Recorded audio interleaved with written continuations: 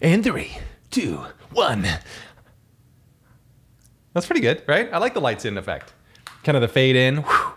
It's the closest we can get to a curtain. Well, the closest thing we could get to a curtain would be an actual curtain, which I guess I could put right in front of the camera here. Just for those of you listening, I am I do do Sorry, that'll never make me not that'll never not make me laugh. But for those of you uh, listening in and not let me move my chair. Sorry about that. For those of you listening in and not watching on video, I do video recordings of these, which I guess was expl- self explanatory when I said if you're listening to it and not watching on video. I guess you could assume that I wasn't just making up the fact that I do video recordings of these. anyway, I had a I have a light in the studio here with me, and I have a remote control and I turn it off and I turn you know what? I don't even know why I'm explaining this to you. You don't care. You're listening to it. There's no you don't you don't care. That's that's you know this is kind of like anybody telling you any sort of news. Not the news but anybody telling you any sort of news or a story like I went to the doctor today. Great. And what the doctor say? No nobody I don't want to know. Whenever somebody starts off a conversation by saying I went to the doctor today or I got some results back. I I just clam up. I don't care. Unless it's important, unless you know we're going through this together. Like if you were my wife and you told you said I got the results back. I would like to know what those results are, whether they were positive or negative or inconclusive, whatever they are. That's you're the one person I probably care. My parents, you know, if something were to happen uh, you know, in a good in a good way. If something maybe great was happening to them, I got my blood test results back, and any sort of problems that I may have may not have had before are all gone. See, that's the kind of news that I'd be on pins and needles for waiting for. But those none of those cases apply to anybody who ever tells me, "Hey, I got my results back," or "I went to the doctor today." I guess this is very specific about going to the doctor that I have an issue with. But I, I do kind of feel that way about any sort of news. You know, just somebody saying something. Unless it's, I don't know, maybe I have a very narrow band of, you know, like what's interesting. If a, if a friend or family member tells me something, maybe that's why nobody talks to me anymore. That, that could be very true. Which, you know, I guess I win then. All right, what are we talking about today? Let's get, uh, let's just dive right into this. So here's one. I went to, I went to a restaurant uh, last weekend and it, the food was great. Everything was great. Nobody's the test results came back. Every, everything was fine.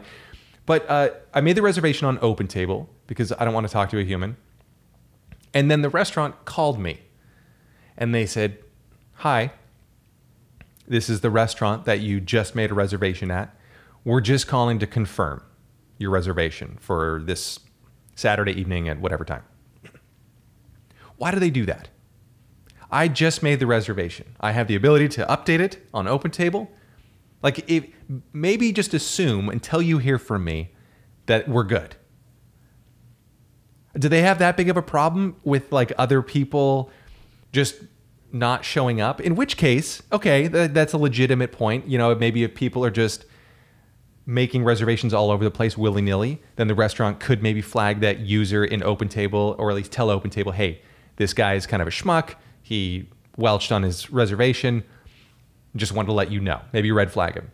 But uh, OpenTable does have a nice feature where they don't let you make reservations within, I think, two hours of another reservation.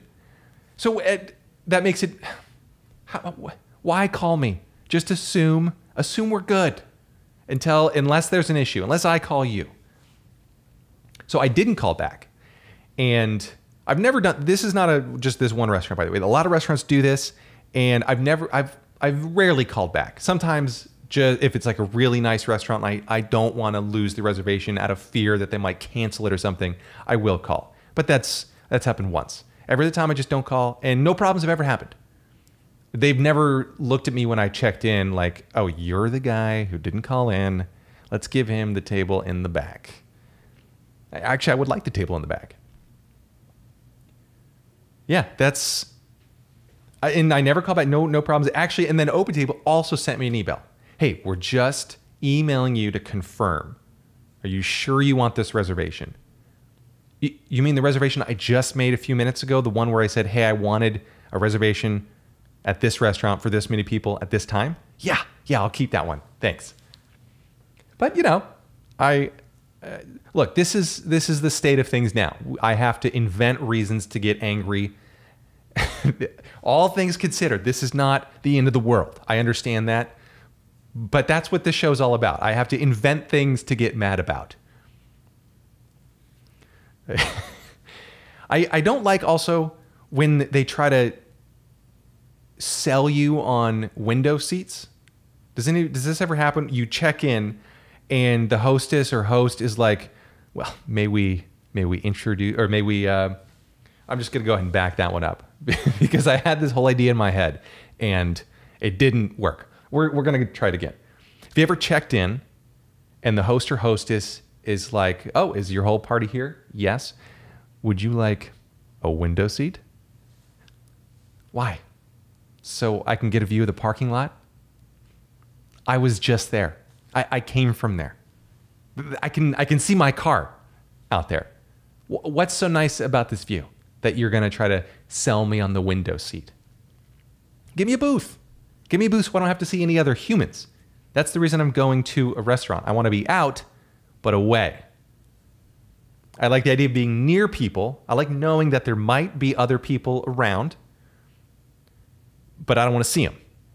If possible, I don't want to hear them.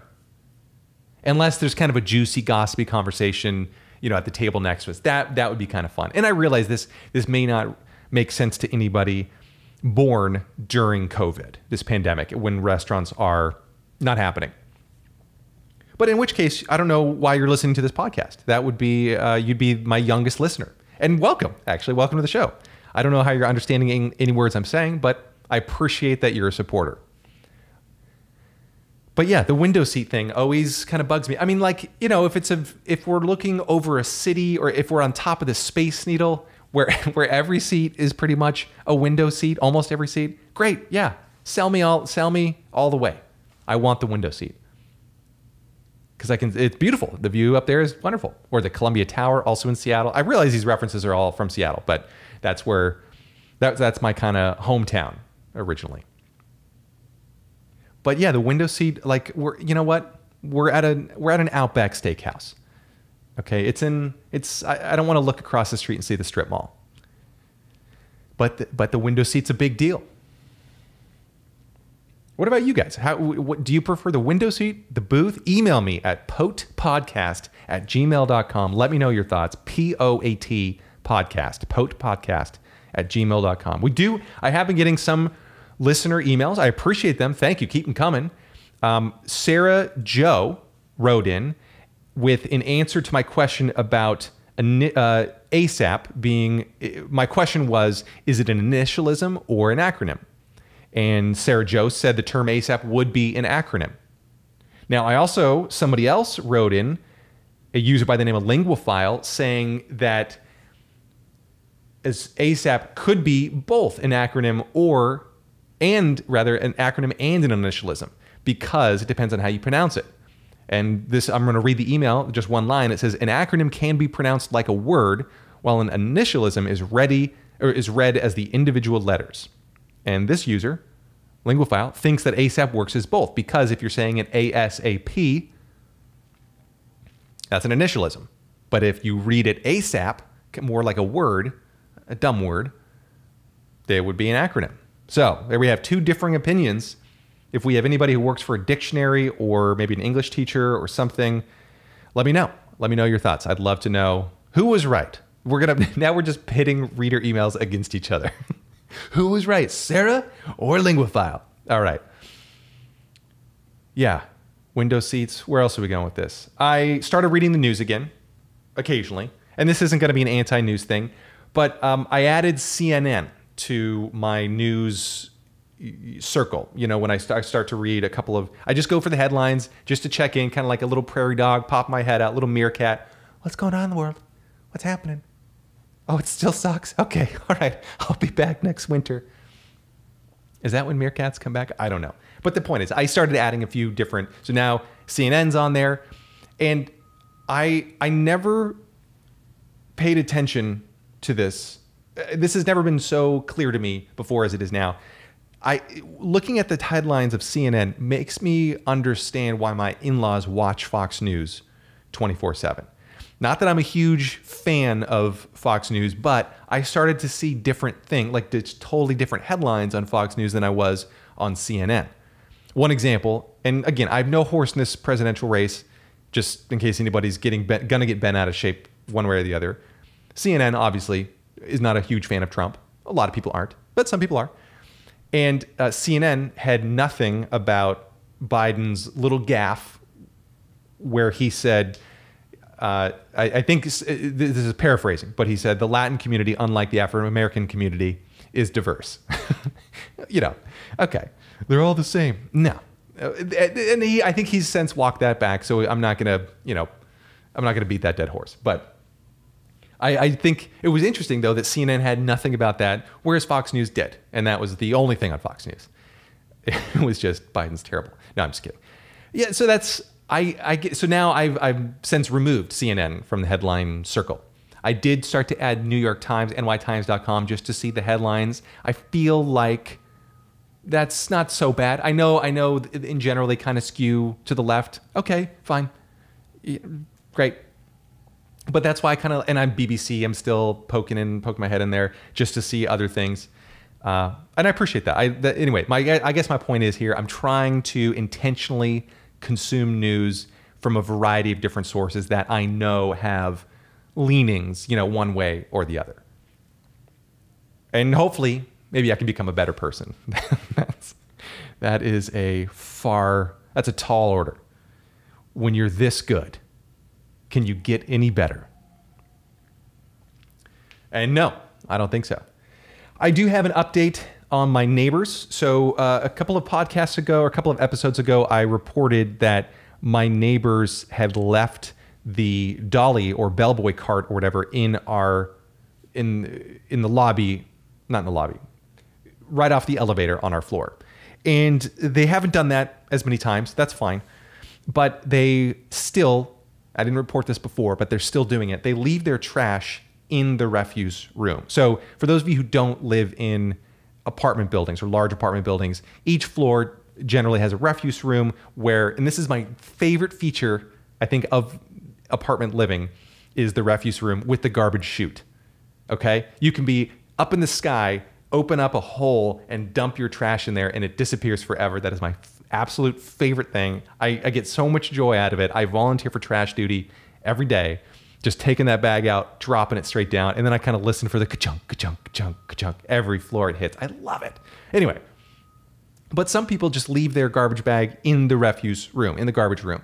Other people, and I don't understand why you do that. You're that you made it. You're almost all the way there. Just, just you made it to the finish line. You just didn't break the tape. Just go for it. Just open that, open that door. It's not a hard door to pull. It's not difficult. It's, it's relative. I mean, if I can do it, anybody can. But yeah, just open the door, drop the trash in there, done deal, and get some joy out of it. It's so much fun. Oh goodness, I'm I'm actually getting happy just thinking about dropping the trash later today. It's gonna be so exciting. But anyway, also in addition to just leaving the trash in there, other people, or maybe the same people, I don't know, leave their cardboard boxes, their shipping containers from Amazon and whatnot, unbroken down. They leave them fully intact. And there's there's a little cardboard section, and it's meant for people. The idea is to break down your box, collapse it so that it's flat. And I do this with 98% of my boxes. There are some times when I'm a little bit lazy. I admit this. You know, I'm in a glass house here, so I can't go throwing stones too hard, but I'll throw a few. I'll open the window, drop a few stones out. But yeah, I've I do it almost all the time. Again, this most of this podcast, in case you're a new listener, is me just kind of celebrating how great I am. Uh, but yeah, I don't know who these people are. Who raised who raised you? Why? Just think it, it- it's very selfish, I think, to not break down your box or leave your recycling in there when there are recycling bins. It's right there. It's right in front of you. And you just drop your bag, right in front of those things. So I just lift them up and put them in the trash. All of them, every last one of them. Because who are you? Why? I mean, you've obviously gone through the effort to to separate out your recyclables and your trash and whatever and you are you made it to the garbage room. Congratulations. You're almost there. This is if you were running a marathon or just a race, this would be the part where you could see everybody cheering you on the home stretch and you go and you make it to the finish line. People are like, "Hey, do you want to take one more step?" You just got to break that tape, assuming you're the first one. And this is a tall order. I've used that phrase twice now. We're going to go with a big assumption instead of tall order. I think that's a little more appropriate here. You're right there. Just go for it. But you lazy SOBs are are just and then I have to do it. I have to put your stuff in the trash for you. That's who are you? I don't know. I don't know what this world has come to. When people aren't separating their recyclables into the bins and they're just leaving them in bags in the garbage room. Trash people. You are you you are trash people. But also not trash people because then, you know, the trash guy has to come by and take care of it. Um, while I've got your attention, I would like to announce that uh, I do have a live cooking show today.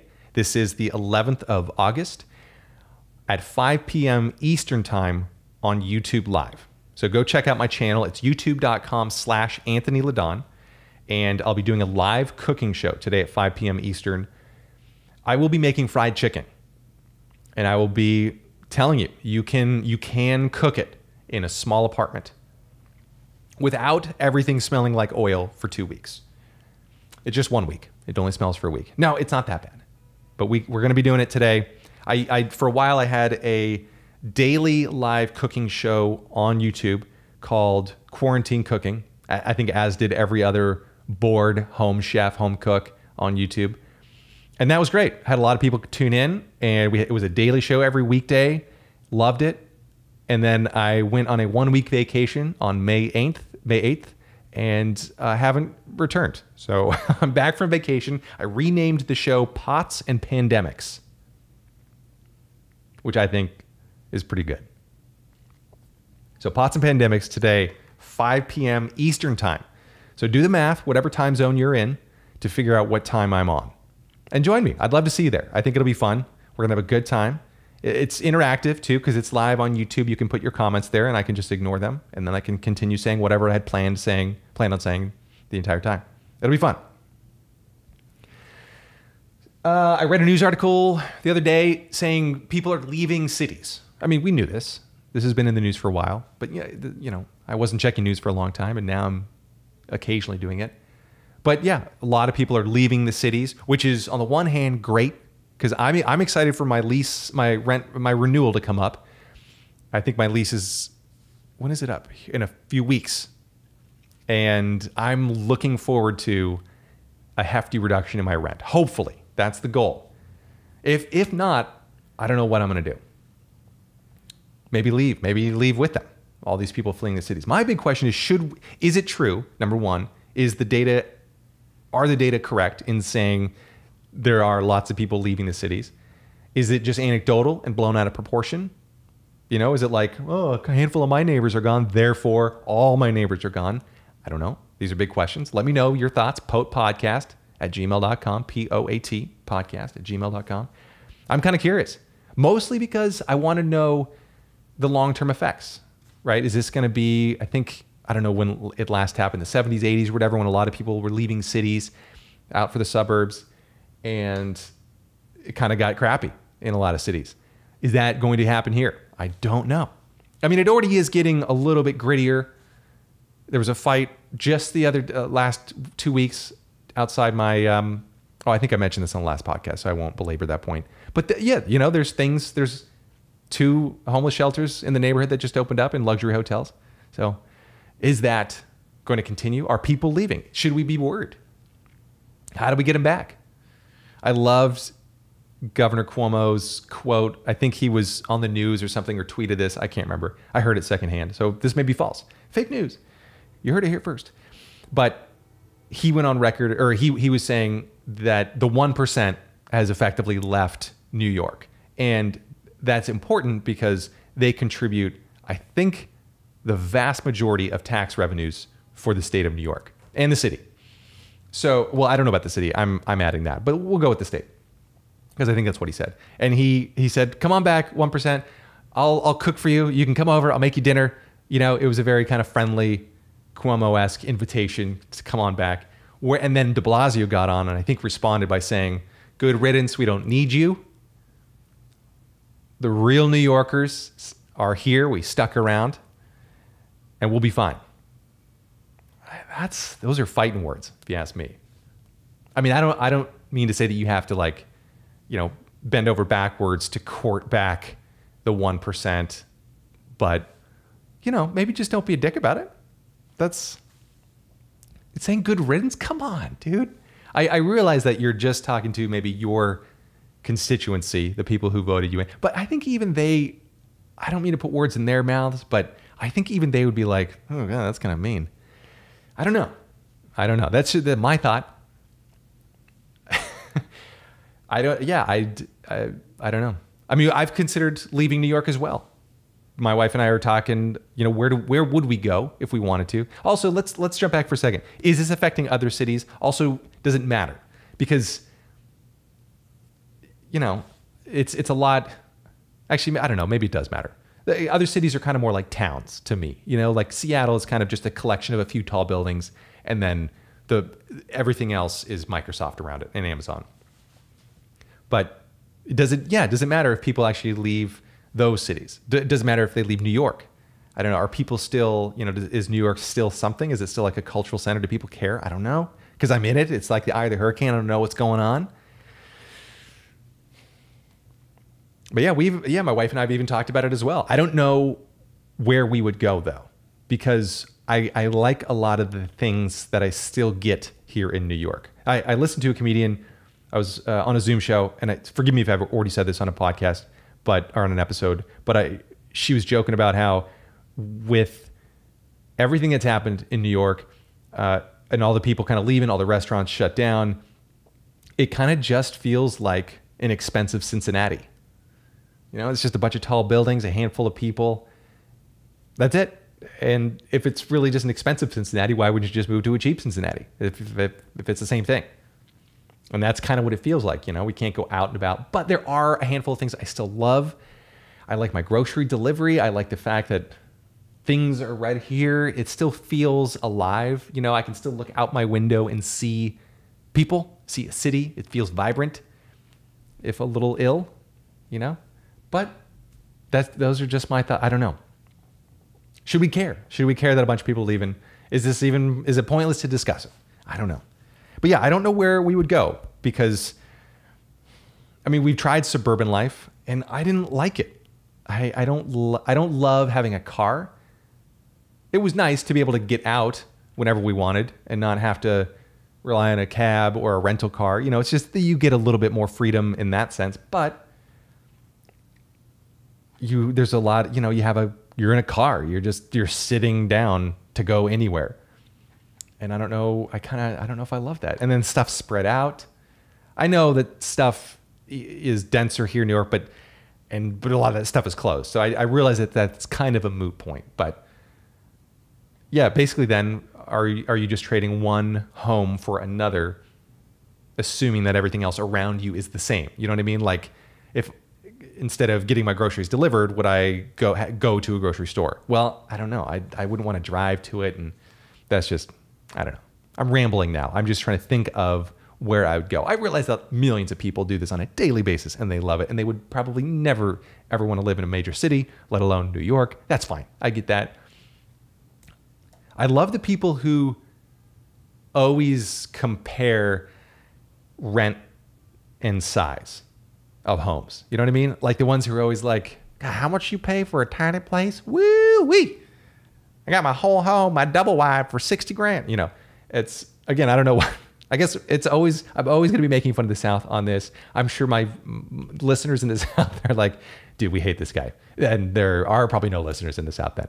Uh, just know it's not personal, it's professional. I, uh, yeah, I don't know. What was I saying? I, I lost my idea there. Rent. Oh yeah, and the, oh the people who always complain like, how much do you pay for how little? There's a difference though. Like I just place much more value on my loca- my physical location. Like I would rather be here than there. I'd rather be here than almost kind of anywhere else. The other thing is, if we did move, then I, I mean, I know the the stand up comedy scene is you know dead for right now. It's all moved on to Zoom, which is fine. It's a it's a different scene, as I've mentioned before. But you know they're trying, and I appreciate that. But you know, stand up's dead here in New York. And then the other thing would be that I, I wouldn't be able to do any uh, commercial work. I'm I'm a commercial actor. I mean, I act in commercials. I guess it's a better way to put it, and very few, by the way. It's this is not like this is bringing home a lot of bacon. Yeah, you know, a few here and there. Uh, mostly local stuff for banks and dealerships, but and any role, anytime I need to play a dad. So if you're looking for a character to play a dad, I'm your guy. No kids, no. So I'm really have the worst experience for this. I'm, I'm not going to be drawing on anything personal to be a dad on TV. But uh, that's that. I would have to give up the the idea or even the you know the option to act in a role because there's not a whole lot of roles outside. I mean, there are, but there's not a lot outside of New York. It would have to be LA, and I don't want to live in LA. I lived in Southern California for a year, and that was about a year too long. Love it. Short term visits, so much fun going down to visit the parents that I adore. You know, because you get it, you get the best of that world in a few days or a week, perfect, and then you can get out. Yeah, I like that. What else are we talking about here? Oh yeah, they canceled Mulan. Oh no, they they're releasing Mulan. That's right. This was uh, this is a big deal. I'm really kind of excited to see Mulan. They're charging. So this is a Disney film. This is going to be the live action Mulan, and I had only seen the cartoon Mulan this in the last six months, I think, and it was I loved it. Eddie Murphy was uh, fantastic. It was it was a great. I love the music. It was it was fun, you know. Um, but they they're doing a live action version of it, and they had postponed it because obviously Disney was like, we don't want to release this movie in theaters when nobody can go to a theater. Could you imagine? Like that would be a pretty dumb move. All right, we're gonna release this in theaters, and they're like just waiting for the, the money to come rolling in. They're like, hey, did anybody tell you? Nobody's going. No, but thankfully, they knew what was going on, and they they didn't release it. But then you know how long are you just gonna sit on this movie? yeah, how long are you going to sit on this movie and not release it? You know, so they finally decided to release it. I don't know when it's coming out. I think pretty soon, and it's going if it's not already out, I don't know, but it's going to be on Disney Plus, and you're going to have to pay extra for it, thirty bucks, I think. But I think it's going to be worth it because I don't know what the average family is. You know, the the average viewer who goes to see Mulan, I'm assuming is a family, maybe two kids or on average so you figure a $15 movie ticket, even if it's 10 bucks, maybe where you're living, and I don't know, in the South, do they do they have movies? I I'm kidding. But yeah, 10 to 15 bucks. It's and three tickets, four tickets. That's already 40 bucks. Concessions on top of that. You know, in America, that's an extra $90. Um, so that's what you're dealing with. And I think this would be a great deal. And then you can have a family movie night, $30. The ones who really are getting the short end of the stick here are movie theaters. And that actually, I'm really curious. This raises a question. It doesn't beg the question. If you if you ever think that you're going to use the phrase "beg the question," you probably don't mean "beg the question." By the way, the people who use the phrase "beg the question" in a sentence already know what it means and when to use it, and they're not thinking about whether or not to say, "Is this an appropriate time to say beg the question?" So this raises the question: What's the future of movie theaters? I don't know. Give me your thoughts. Send me your thoughts. Podcast at gmail.com. P O A T podcast. But I'd like to know are movie theaters going to be around? Let, let's say that, that, you know, there's two, there's obviously a couple hypothetical directions that this is going to take, right? There's a vaccine. A okay, we fi- you know we figured it's like eradicating polio, except we somehow have to get it also to the anti-vaxxers, and we take care of it. It's gone. Great. Everybody returns back to normal. Are people going to be still loving this kind of life, like the work from home life and the moving to sub? Well, I guess suburbs have. But are they, you know, if we've interrupted the habit or the idea of going to a movie theater, are we still going to go afterwards? Again, this is assuming that there's a vaccine or for, for whatever, however it manifests itself, we've taken care of COVID nineteen, right? It's gone, and, and also assuming nothing has come up in its place. So let's let's set that. Uh, but yeah, this are we going to go back to the movies? I, I could kind of see that going either way. On the one hand, it is kind of nice to have to go somewhere to do a thing. You know, you go out to a movie theater to see a movie. I I liked going to movies for the big actiony kind of movies, you know? Any of the 30 annual Avengers movies, anything from Marvel, which I think they came out every day of the year a couple of years ago. But any, you know, those were kind of fun. The big actiony thing, anything by Michael Bay, you know, Transformers stuff, that would be cool to see in a theater because I would like to feel it in my body, feel the bass, you know, of the of Optimus Prime, just saying anything. He could say, "Welcome to dinner," and I'd be like, oh, "Okay, I got my fifteen dollars worth out of this." Just took a weird turn, but and you know, or even like a date night with the wife. It's usually her idea. Let's go to a romantic comedy movie, something kind of funny. I did. I don't like if it's on, if it's up for an Oscar. I don't want to see it. That was uh, that was my only rule, because those are those are films. Those aren't movies. I, they're filmed. You have to think about it, and then you have to talk to snobby people about it. You have to tell people you saw the film, what you thought. That's a lot of work. I just want to go see Thor kill the bad guys. That's all I want to see. Because that's fun. And then, you know, you don't have to tell people that you went and saw the latest Avengers film. It's great. Or latest Thor movie. I guess I'm stuck on Thor. Maybe I have a thing for Thor. It's his hammer. I yeah. So that's I didn't yeah. I don't want to see I don't want to see films too much work. It's ah uh, that's anything that does anything that's up for an Oscar is a hard pass for me. So, but yeah, that I kind of liked going to movies for or movie theaters for that reason. But you know, I, I'm looking at the data here. I didn't go. I, I didn't go that, that often. We didn't go maybe twice in a year, I think. And if that's the a, a luxury I need to give up because nobody else wants to go, fine. That's that, that I'm okay with that. You know, I've made my peace. I can instead watch Mulan at home. I think the TV I have here is was a $300 TV and it's a whatever a 50 40 inch LCD from Amazon, and it was 300 bucks. And that would be fine. You know, you just pull it straight up to, the couch, and you feel like you're there. I, you know, that that's fine. I could do that. But yeah, I'd, I'd like to know: Are movie theaters is that real estate going away? I mean, you know, are movie theaters going away? Is something going to fill in? I don't know. These are this is what keeps me up at night. Really, is our movie theaters going to be around? But yeah, Mulan, thirty bucks on Disney Plus. Uh, is ever, has anybody else uh, subscribed to Disney Plus? I did. I love it. I think just for The Mandalorian, that show was amazing. I, I highly recommend it just for that. I think it's the only thing I've watched on Disney Plus, so maybe I should rethink the subscription because I'm paying, you know, the extra. Because then they have a, a deal with Hulu where you get a couple bucks off if you get them both because they're all in the same family and I don't know, I don't know if I watch anything else on Disney Plus. So maybe, maybe I do need to cancel. Maybe I'll never see Mulan. Maybe, maybe I'll be Mulan less. That'll be fine. All right, we talked about my terrible neighbors. Talked about that.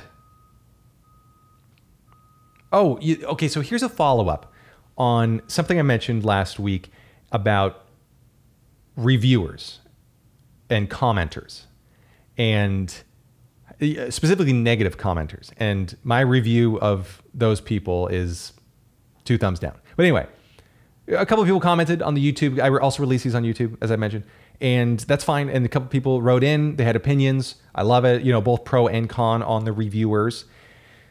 I'd like to. I, I, think there's something about the anonymity that brings out the worst in people. You know, you're hiding behind an avatar, and you can say, you know, whatever you want to say, and it turns out a lot of people are complete jerks when they get on to commenting. I'd like to know would you say that to that person's face?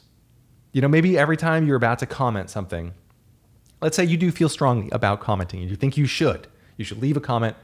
And let's assume it's negative because positive comments, great, love them. I'm sure any artist or creator appreciates that in some form or another. But the negative comments, eh, nobody gives a shit. But yeah, I'd like to know if you think about would you say this to that person's face?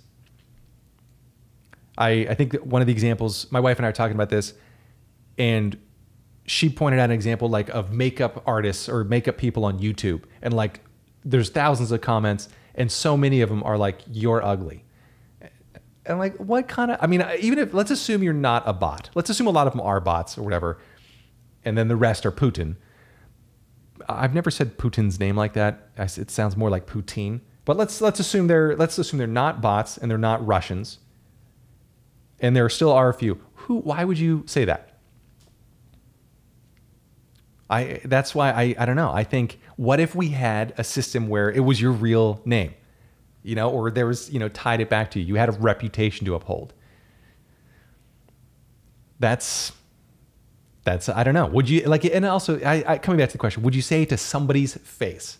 That's I don't know. It's really hard to be a dick to somebody right to their face. But behind your back, oh man, I will say terrible things about you. But you know, uh, right to your face, that's hard. I mean, I guess you could argue maybe we're getting to the heart of the truth or something, but nobody cares about your truth. You're just being a dick. If you, I think, if you leave a negative review, a negative comment. That's why I don't like critics or, or reviewers just in general. Like, are, are you just a failed artist?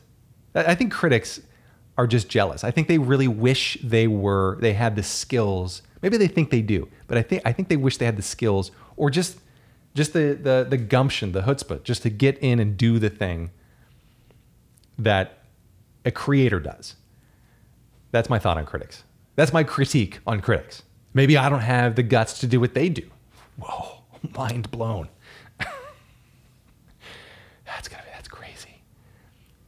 Yeah, that's why I don't know. I don't like them. I don't. Uh, I don't respect them. I think that's the, the thing. But anyway, that's just my thoughts. I realize this is me. You know, uh, would I say this to your face? I don't know. Probably, just because I don't know. That's my. I don't know. That's my thought on reviewers.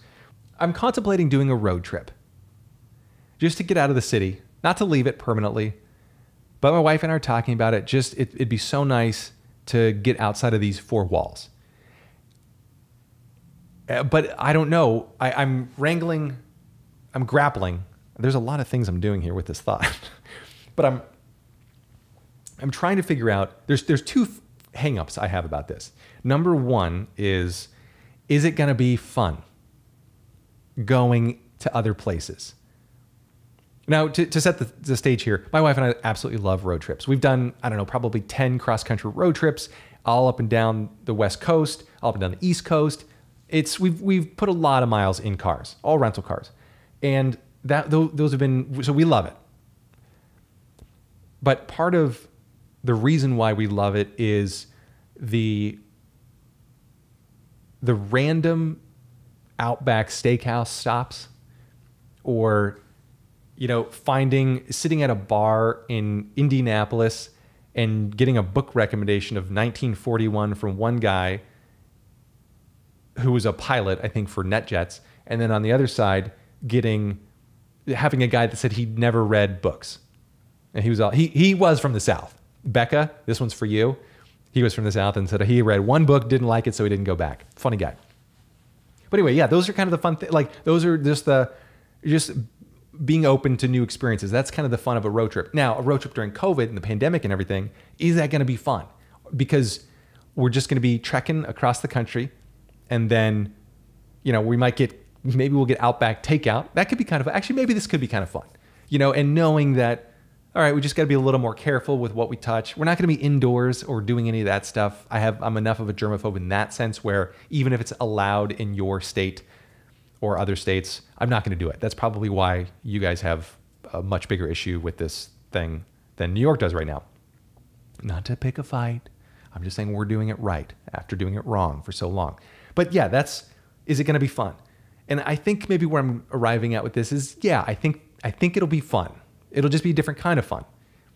It'll it'll be you know, we will have to be open to those experiences and they may not they just won't be the same you know, maybe we'll have to get takeout or something, and instead of eating at an in, a table like at a Panera parking lot or something, we'll just eat in the car or on the road. We actually do that a lot anyway, so it's not going to be a huge change. But yeah, no bars. That's okay. That's fine. No hotel bars to meet people. Great. It'll be a, a slightly lonelier, I guess, but we'll have each other and our pup. It'll be super fun. So yeah, maybe what I'm arriving at, I'm okay with that first one. The second hangup I have though is, am I going to be tracking Rona across the country? You know, like by just by being out and about, touching a handle, a door handle, gas handle, anything, am I going to be, you know, contributing to the problem? That's the other hangup I have. And I this is maybe this is I'm not too worried about that, but I also want to make sure that that's not the whatever it's the I don't it's not the spotlight effect, but it's that thing where it's like I'm okay, you're not okay. You know, where I know what I can do to control the spread, uh, you know, or my part of it. I can I can sanitize my hands, wear all the masks and all that stuff. Basically, I know what I'm doing to be careful, but I don't trust that you're doing the same things. It's, I'm okay, you're not okay. So, which I learned from the Enlightenment Now book, one of my favorite reads in the last 10 years. And it was a recommendation off of Bill Gates' blog. Bill Gates Notes, I think, is the website, billgatesnotes.com or something like that. But anyway, it's a Bill Gates read. He said it's one of his favorite books of all time. I agree with the guy. I think he's onto something. Not as dim witted as he looks. Actually, he doesn't look dim witted. But yeah, so that was from Enlightenment Now. I picked up that. I, I can't remember the name of it, so I'm going to have to go look that up. Anyway, but yeah, it's I, so yeah. Number one, is it going to be fun? Yes. Number two, am I going to unwilling, uh, uh, unwillingly contribute to the spread of Rona? And I don't think so. I'm assuming you know I sanitize stuff hands you know whenever I use a, a gas handle. What am I trying to say? Gas handle? The you know the I haven't driven a car for so long. What is it called? The gas dispenser? The gas gun? What? this is the gas handle, right? oh god, I, I know I'm gonna get a bunch of emails on this, like you dimwit. It's it's this whatever that thing is, and I don't know what it is. But yeah, that's what I'm gonna get. A bunch of emails from people saying, "You numbnuts." That that should just be the subject line for your email to poatpodcast at gmail.com. Just just say it numbnuts. And if everybody does that, then they'll all be in the same thread, and I can see all the people that think I'm a numbnuts right there. So yeah, road trip. I think I think we'll do it. I don't know where to go though. You know, should we do the cross country thing? Should we do up the northeast, you know, Maine and then back around? Can't go to Canada, unfortunately. I've always wanted to do a Canadian road trip because I hear it's beautiful up there. I, I mean, I, have been to Canada before, but really only Montreal.